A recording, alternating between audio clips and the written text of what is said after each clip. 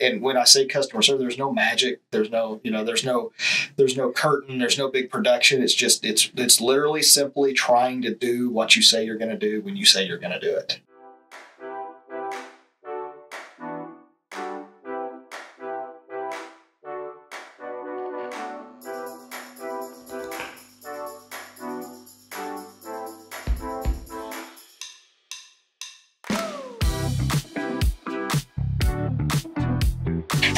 Everyone. Welcome back to the Build with BBB podcast. I'm your host, Casey Farmer, here with Clark Van Dyke of Van Dyke Mechanical, a long-time accredited business and community member. We're so excited. We're going to be talking about their customer centric business model, what it looks like to be really involved in the community, and how to put your customers first. Clark, welcome to the podcast. Thank you. Yeah. Glad to be here. Yeah.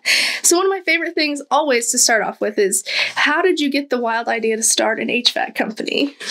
Well, I, uh, like I was telling you before we got started here, my I started out of high school in public safety careers, and uh, heating and air conditioning was a um, heating and air conditioning was a you know, part time, you know, day off thing, and it kind of just it became the full time thing. And uh, through working through other companies, um, that there was just something more that I wanted, and I saw through conversations with people that there was a need for true customer service in the residential and light commercial, you know, heat and air industry and plumbing industry. Uh, there's really a big hole there, and um, the right things happened, and we decided to make a go for it in 2016, and here we are. Here we are. I learned a little bit beforehand about your story. This is not all you do. You're a very busy guy and an entrepreneur. So, would you say kind of always been an entrepreneur at heart? Oh yes, yes. Always busy doing something. Always need a challenge. Always trying to do everything, you know, everything the best we can or improve even what we're doing constantly. Sure, sure. So I was checking out your website, getting to know Van Dyke, though you've been accredited, I think, since 2017. So very active in I our think so. community. Yeah, um, several years. So congratulations. One, making it through COVID is, is tough. It was tough for a lot of businesses. So, I mean, that shows a lot about getting through that. But a big part of what you do is customer centric. Do you want to talk about that? So, like like we kind of touched on, you know, when when Van Dyke Mechanical came to exist, um, there was I was working here in Oklahoma City for a company that did primarily commercial and industrial work. Mhm. Um, they allowed some side work, so I did a little bit, but it was the volume of, hey, when you get home from work, will you come over to my house and work? Well, you know, can you do this for this person? And you know, they, you know, my number started spreading, and what I was hearing was just like, you know, you people have gotten to where they depend on their, you know, their heat or their air conditioning or their plumbing system. And when you call a company and they say, okay, we'll put you on the list, that doesn't sit very well. sure. So that's that's one of the customer service holes um, that I identified, and the other thing was just just trying to show up and do what you say you're going to do when you say you're going to do it is big. I mean, it's it's huge. Um, so we went on a little while with doing some stuff on the side, and then it. Like I said, life events happened, and it uh, it presented an opportunity. So um, we started this business, and uh, me in a truck by myself. Uh, first day was July 5th, 2016. wow. And then we just grew incrementally as the demand, you know, justified. Yeah. And we hired an apprentice, and then we hired a journeyman, bought another truck, and then we hired another apprentice, and then we hired another journeyman. And you fast forward to um, today, and you know, at our at our at our maximum, you know, uh, maximum number employees. I think we had 28 full time employees and um, 12 trucks. We're we're down a little bit now, just based upon you know demand, Mhm. but uh, um, and and we've also looked at some stuff as far as efficiencies and different directions the business is going. But but yeah, it, it grew grew really fast, and it's it's. Uh, it- I attribute that fast growth, and it was really uncomfortable, you know, for the majority of that time too. You know, Sure. it, it wanted to grow faster than I necessarily wanted it to grow, but it's all based on customer service and and when i say customer service there's no magic there's no you know there's no there's no curtain there's no big production it's just it's it's literally simply trying to do what you say you're going to do when you say you're going to do it Interesting. and stand behind what you do Yeah.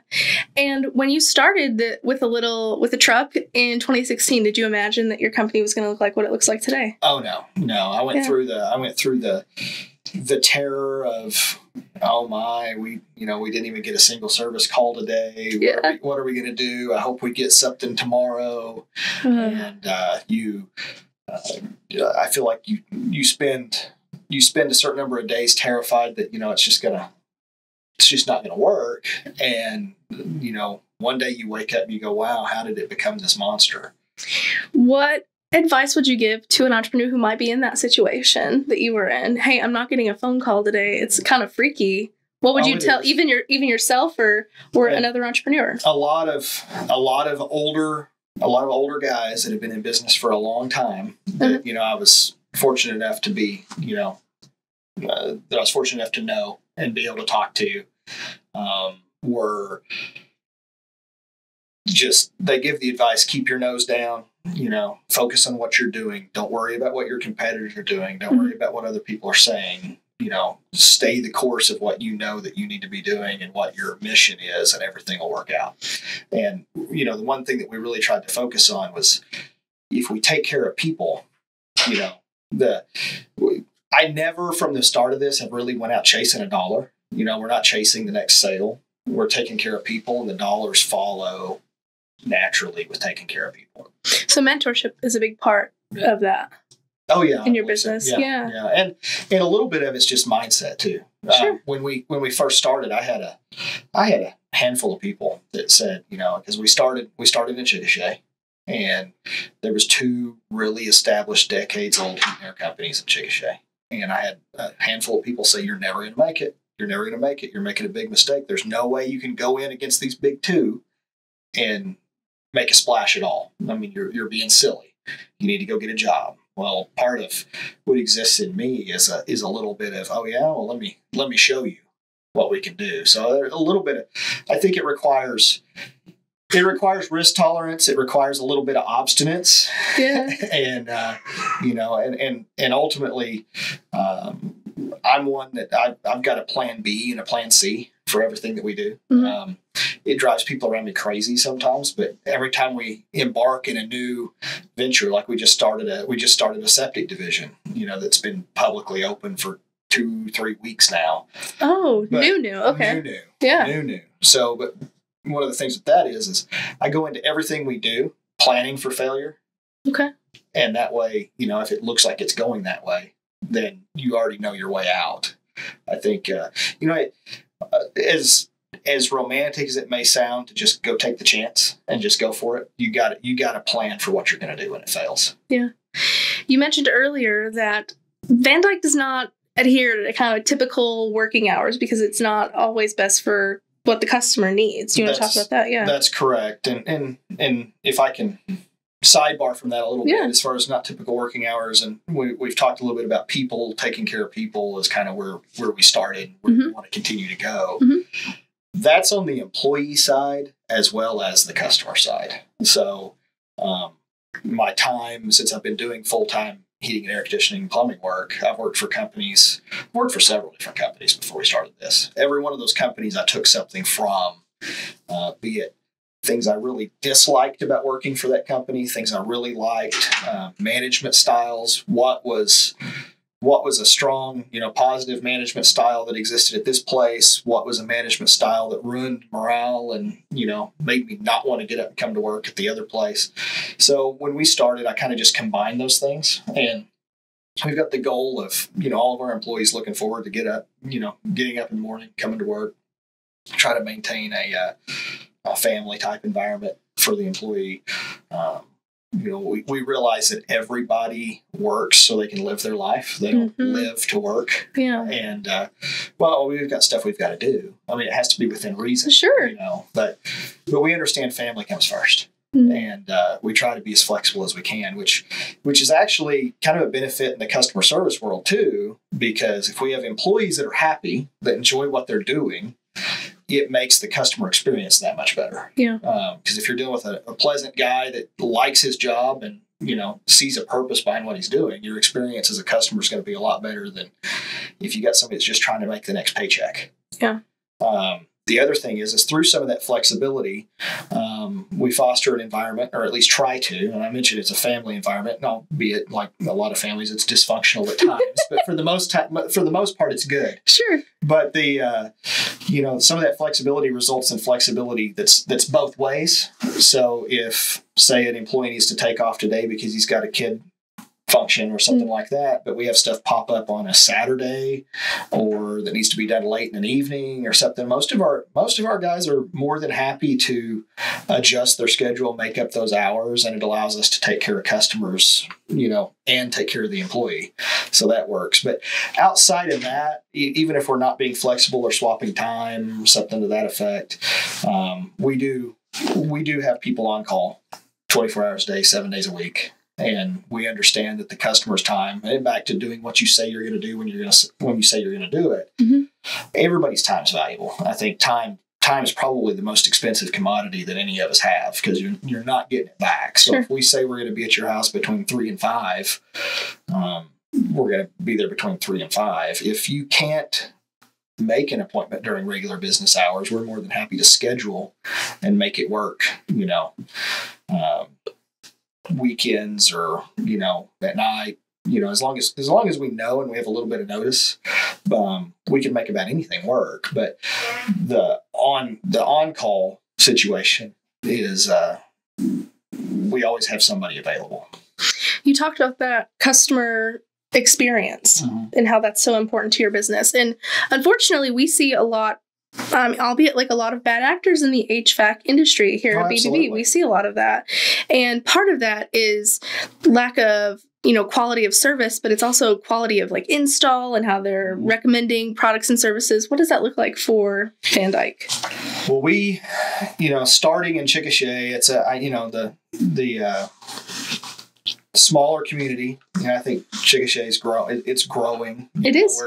Um, it's bigger now, and it's there's people from the outside that you know aren't necessarily from the area now, so it's changing a little bit. But in a community like Chickasha, word of mouth and reputation literally mean everything. Mhm. So, um, you know, one the way we look at it is is you know an unhappy customer is a lot more experience or a lot more expensive excuse me than going the extra mile and making sure everything's done right. Sure. Um, we can't be the cheapest we don't try to be the cheapest um, if it comes down to uh, who can get this system installed in my house for the you know the least number of dollars and sometimes people need that but often you get what you pay for yeah, and often if we get in that situation, you know, if if if we look at value provided, I Mhm. think we'll win every time. If we look at just number of dollars and how cheap can we do it, I'm not very good at competing in that arena. Mhm. Um, it's not a drastic difference, but you know, we're not. That's not where we want to compete. I want to go home and basically, I judge everything by how I feel when I go home at the end of the day. If I can go home at the end of the day and feel like I've delivered a product and a service to you at your home that I'd be happy to have in my home or my grandmother's house or, you know, anybody that's close to me, Mhm. uh, then we've succeeded. If there's anything that we're like, mm, I would have done that different if it was in my house, then we didn't really do our job that well that day. yeah So we try to avoid those situations. Um, and unfortunately, like you're saying, a lot of bad actors, we we are in we go in behind other companies a lot more than I wish we would have. sure And it it really it, it's becoming challenging because probably one out of every three to five customers we talk to have talked to somebody else, be it other companies or friends or people at church, and they're already, you know, they're already primed up, you know, for the high pressure sales tactics and Mhm. and uh, um, trying to get, you know, people are trying to sell people things that they don't truly need. I'm in that. I'm in that age group where it's you know the internet was just starting to be a thing, and you know I'm pre pre Google, and and the uh, the Google review phenomenon. Hmm. At first, I was really kind of like, man, I can't believe people are taking these reviews more seriously because you go to seminars and you really watch customer behavior. People people trust a Google review a lot more than they trust somebody at church or their neighbor or even their relatives. And the more and more I see, like you like you mentioned, I mean, you have a bad experience with somebody close, you know, that somebody Sure. close to you referred. Um, you know, Google reviews are a good thing. They're a good thing, but you have to read. If you're someone that's looking at Google reviews, you have to read through the reviews and make your own opinion of whether or not those reviews are reviews are legitimate or not. Mhm. Because um, there's some very large companies in our industry that somehow and despite google's best efforts there's there's fake reviews getting bought and reviews being transferred and you know, if you go through and read them you can start seeing a generic pattern Yeah. Yeah. I think you you kind of touched on it about high pressure sales tactics, Mhm. which is also a big part of bad actors in the HVAC community. yeah it, it is um, one thing we do to combat that is is none of our techs none of our employees are paid on commission whatsoever we do not have a commission structure um, we're one of the few companies i know of left that pay a technician from the time they get to work in the morning till the time they go home at night. We pay straight hourly. Um, there is some things that if they you know if they hit certain metrics if they you know achieve certain Sure. things there's some spiffs and there's some bonuses and so forth but they don't have mediocre pay with commission bonuses um, that incentivize sales. And and honestly one of my frustrations with employees is we've got we've got some products out there that are really cool that you know provide real benefit to a homeowner. I've got some service techs that just do not like to sell and i wish they'd provide i wish they'd provide this list of you know accessories and so forth to Sure. homeowners more often not only because yes sales make the world go round that's not what we're 100% about but sales do make the world go round but it's also about you know indoor air quality and that sort of thing I hate it when customers are like, "Oh, you guys offer that?" Well, the last several times your guy was here, he didn't mention it. Well, yeah, he doesn't like to sell. He doesn't like to put pressure, but Okay. um, but there's a the the business model is almost turning into paying a, a very low base wage with the potential to earn crazy money based on commission. Interesting. So, um, you know, like you go on a service call, if I'm on a commission base or if I'm getting paid, you know, a lot of companies call it ticket pay or ticket time or whatever, you get paid for billable hours, not idle hours, but just billable hours, and then you earn a commission. So, if I'm at your house and I'm not making any commission and I'm making a livable wage, okay, this is why it's broke. This is what we need to do to fix it. You agree to that. That may be one part, right? Well, if I'm on commission, all of a sudden, if you don't need a whole new system today to fix this, Mhm. then you need four or five parts. You know, so it it encourages commission based pay, really encourages overselling. Going down the line of overselling, what do you think are some key elements that a small business owner needs to keep in mind if they're trying to build trust in their community? Just you know, treat people like you would your your family. Yeah. Um, I I understand, like as far as the heating and air conditioning business goes, I understand the urge to sell equipment. You know, Sure. because we our our our margins on a system change out. You know, changing a complete system. That's probably where we're going to make the most money in one single day. But with that being said, that's not always what's appropriate. You know, generally when we change a system or when we come to a homeowner or a small business owner and say, you need to replace this air conditioning system, it's done. I mean, it's destined for the scrap heap.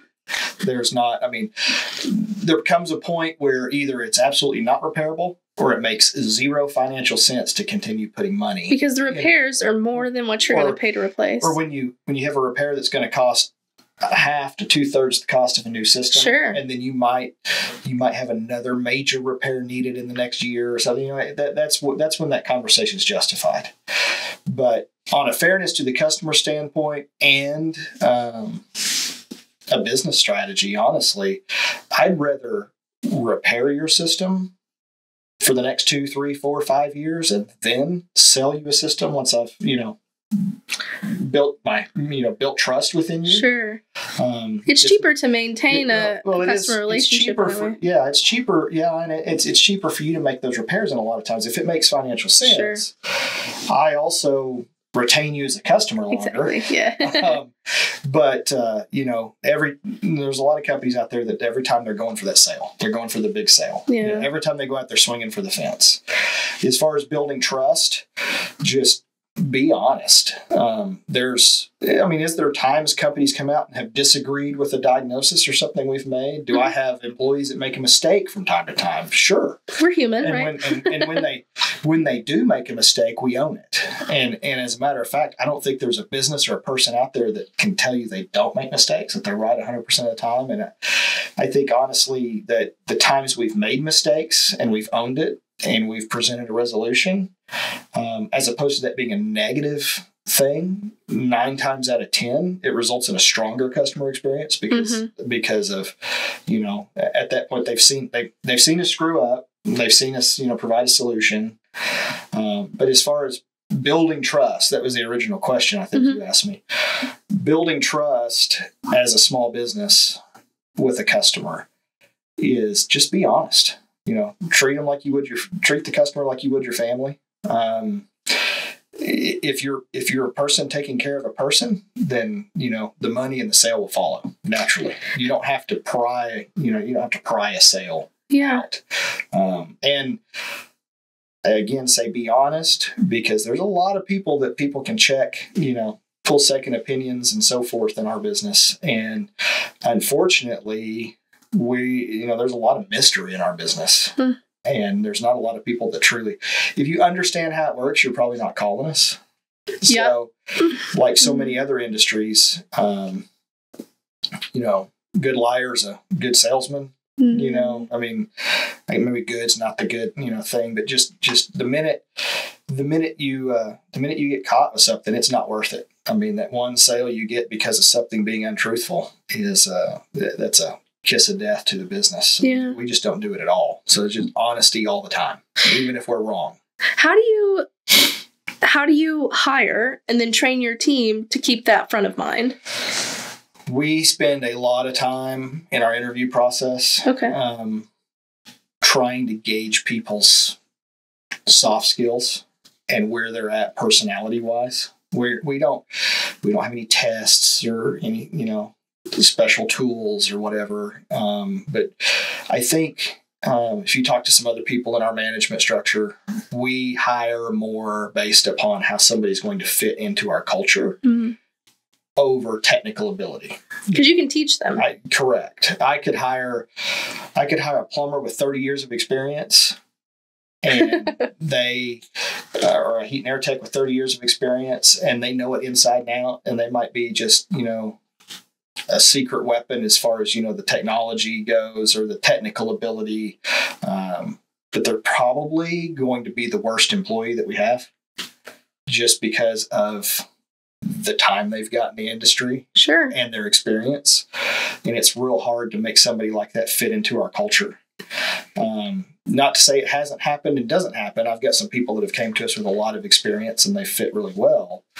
Um, but we try to we try to bring people out of honestly we try to bring people out of trade schools and start them as apprentices train them in house, you know, get them a license, and, and we, we basically build our own service techs at this. And give them a career path. Yes. And the biggest thing with hiring people is if I'm not going to let somebody, if I'm not going to take my house key out of my pocket and send them to my house without me there, if I'm not comfortable sending them to my grandmother's house without me there, I'm not going to hire them because the number the number of people that trust us to hey i'm going to leave the back door unlocked the garage door code is you know Sure. this, is honestly you know you know i mentioned my previous employment public safety before heat and air became a, a, a thing for me it, it's alarming. You know from that experience to the way people treat us it's, it's honestly alarming. It's humbling it, but it's a, it's a huge responsibility. Yeah.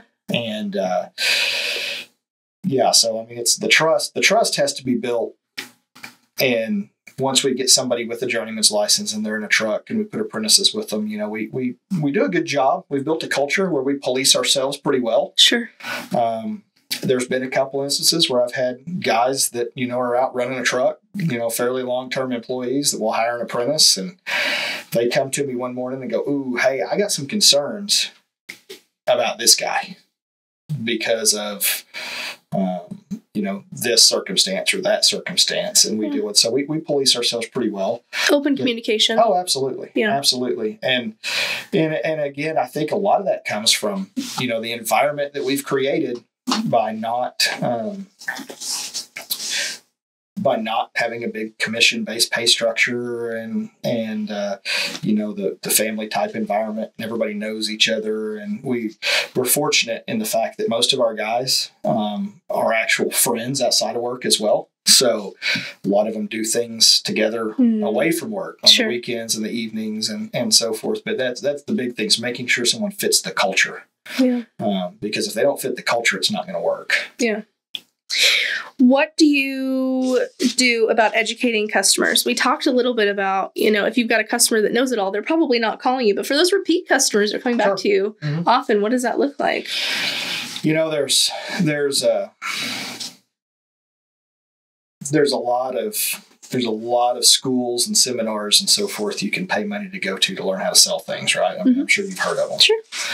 i find the best i find the best sales tools actually education and when we sit down you know myself or um, one of the guys we sit down with the homeowner and it's either repairs or we're talking we're having that uncomfortable conversation about you need to replace this system. Uh, it's about a it's about a a lot of times it's an hour and a half or two hour conversation about what exactly is broke, what it does, and what the benefits of replacement are, what the benefits of repair may be, what the drawbacks of that repair Mhm. may be. Um, and it really varies, but basically it's just a 100% open conversation, you know, Q&A both directions about finding the fit for that one, you know, for that one circumstance with that one customer. It goes back to that trust factor. Sure. I want to trust you if you're if I know you're being upfront with me and telling me and helping Right. me understand. I mean, I'm not an HVAC expert. You could tell me anything and I I probably believe it because I I mean, I that's I'm not I'm not encouraging dangerous. that, but it's true. That's what's that's what's dangerous about, you know, this industry. Yeah. Like I said, there's a lot of there's a lot of mystery and, and nobody wants to be cold, nobody wants to be hot. yeah. And um there's a there's a danger there's a danger element to what we do also. You know i mean uh, carbon the dangers of carbon monoxide and fire and electricity and all that they're all very real. You have a lot of responsibility It's, to uh, your clients. it's a very it's a very easy thing to do for me to go in there and be like okay this is going to kill your family you've got to replace it now if you say yes we can do it tomorrow if you don't tell me and we don't do it tomorrow i don't know when we're going to get you on the schedule and then you guys are going to be living on under blankets in the living room you know. Eh, we don't use those tactics at all Yes. um, yeah. You know, it, it's it's one of those things where when we get to that point where we have a conversation, um, either if we're not having a customer education conversation, it's a very very small repair.